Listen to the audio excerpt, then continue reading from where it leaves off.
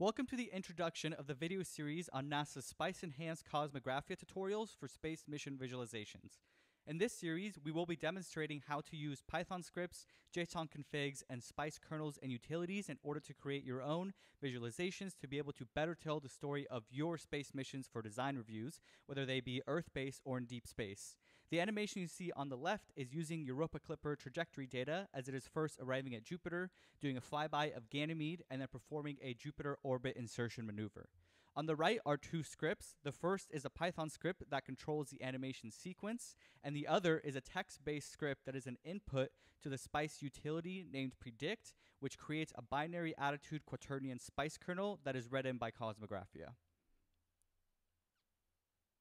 We'll be going over two different types of missions in this video. One is using Europa Clipper data to demonstrate a mission to an outer planet, and the other will be a low Earth orbit mission from launch to CONOPS to deorbit. We'll also be showing sneak peeks of the necessary software in order to create these animations, and as extras, we are also including one animation of the OSIRIS-REx Terminator orbit and one of NASA's published near rectilinear halo orbit for the Orion spacecraft around the moon. At NablaZero Labs, this is one of the many services we offer to our clients. So if you would like to get these types of space mission visualizations made in a timely manner for your company, let's get in contact. Starting with the Earth-based mission, here we have the rocket launch sequence from Cape Canaveral, Florida, where we show the rocket launch with the first stage on a ballistic trajectory back to the Atlantic Ocean and the first few orbits of the spacecraft mission. And note that this scene is in the Earth-centered Earth fixed frame IAU Earth, so we can visualize what the ground tracks look like.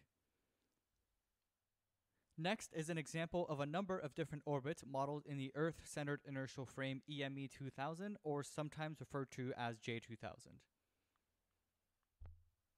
Next up is an example scene of an Earth observing spacecraft CONOPS between pointing its solar cells at the Sun and an instrument nadir to the Earth. Initially, the spacecraft has its solar panels pointed normal to the sun vector, then rotates its body such that the x-axis points nadir, takes images of the Earth surface illustrated by the instrument frustum, and then again returns to solar panels pointed at the sun.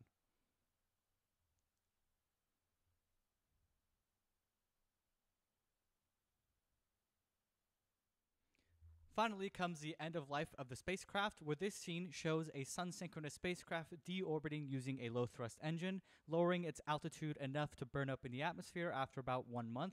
But of course, these animations can be tailored to your company's specific CONOPS. So you can notice on the menu at the bottom of the screen where we can see the altitude steadily decreasing. Next up is a deep space mission where we begin with Europa Clipper performing its departing burn from Earth.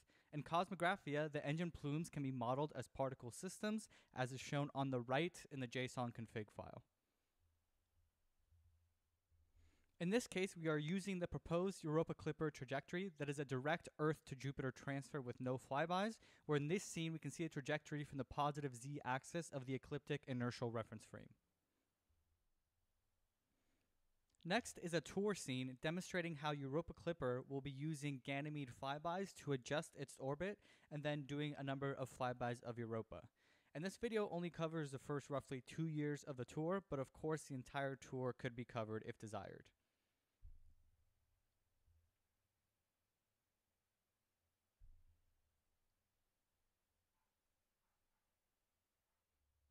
And finally, here is a scene of a Europa flyby where we demonstrate how instrument frustums and observations on Europa's surface can be modeled in Cosmographia.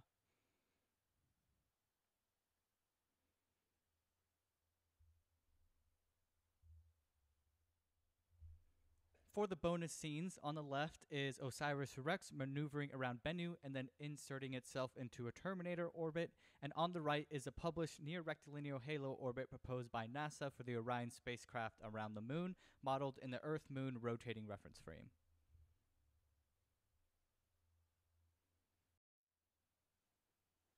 Let us know what you thought about these visualizations in the comments and which tutorials you would like to see in the video series. Thank you for watching, and we'll see you in the next video.